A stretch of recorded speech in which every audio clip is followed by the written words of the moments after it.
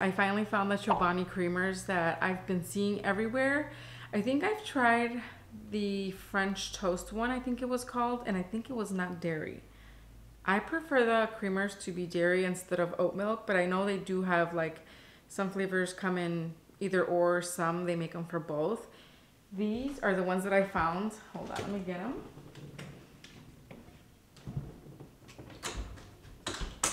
These right here are the ones that I just found. I found them at Target, my local Target.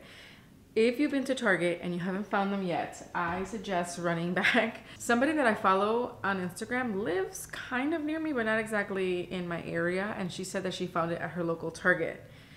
I haven't had any success at Target, but I went back after seeing her post and I was so surprised that they were fully stocked on a lot of flavors. Flavor, because normally at Target they only have like the sweet cream and the vanilla one. At least in my Target.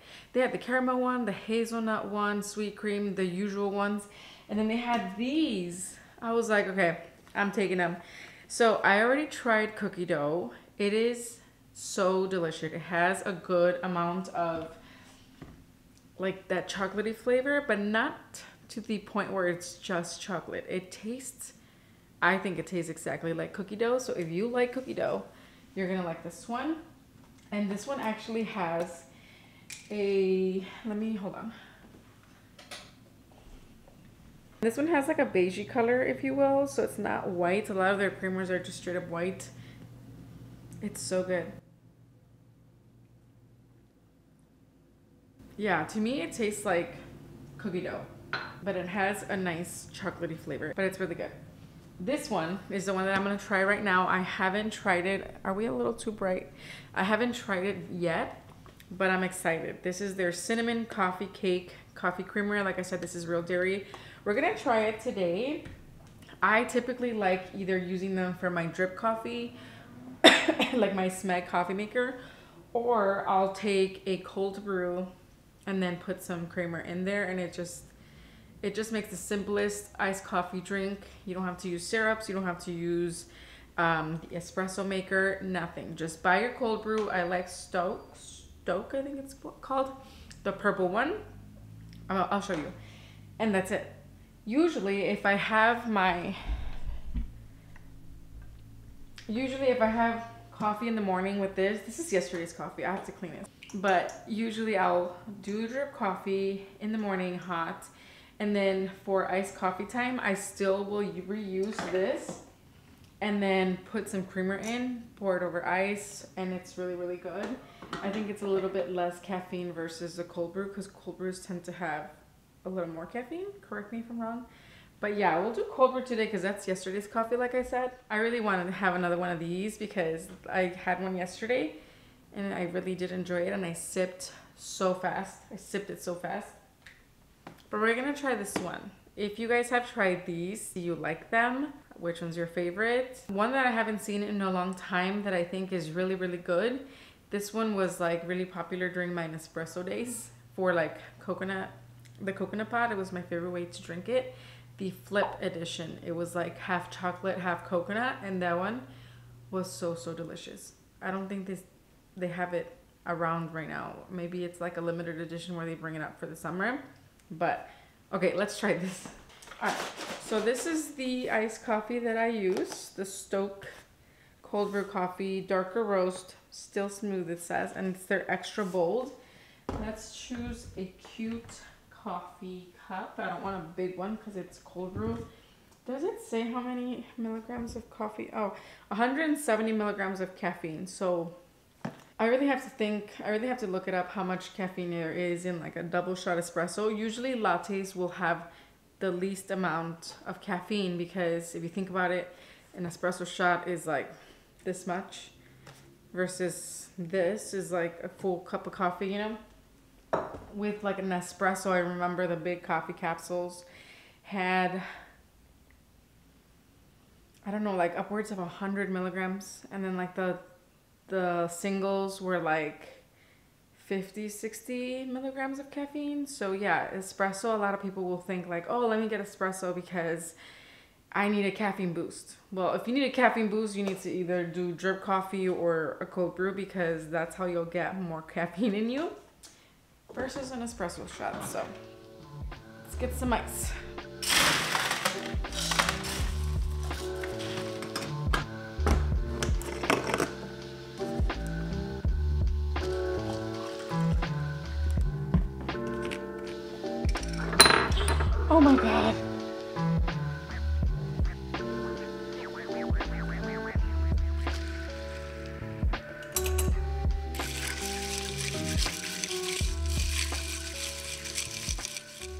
Let's try this.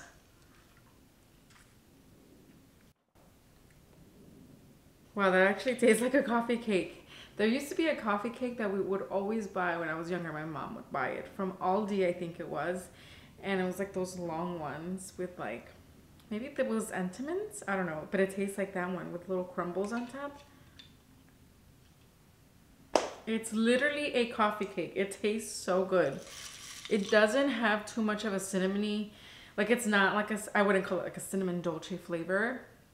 There's something there like that tastes nice and vanilla bread like flavor topped with cinnamon, some icing. I'm tasting all of those those flavors, those ingredients in this coffee. Oh my god, that is so good.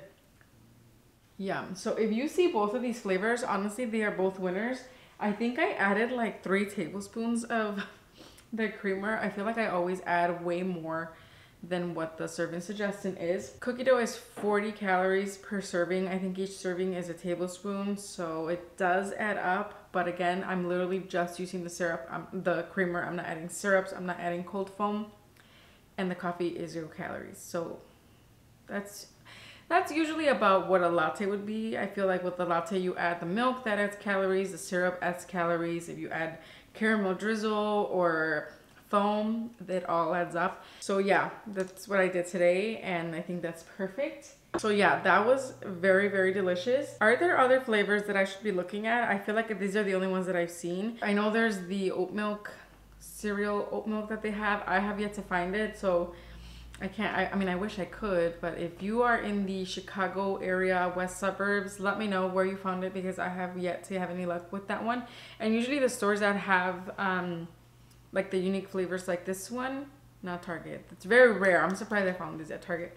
But there's like local, just local supermarkets that are not like chains. Those usually have them and I haven't found the milk, but um, yeah. So if you have other flavors that you would like for me to try, let me know in the comments below.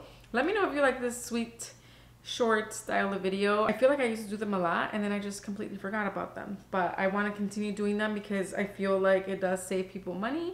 Some of these creamers are not good. I remember the brown sugar sizzling something that they had and it was disgusting. And I know a lot of you guys were like, okay, thank you for letting us know because I'm not gonna buy it. They're helpful for me, so hopefully they're helpful for you too. Let me know in the comments if you guys like this style of video, short and sweet. And yeah, that is it for today's video. I will see you guys in the next one. Bye.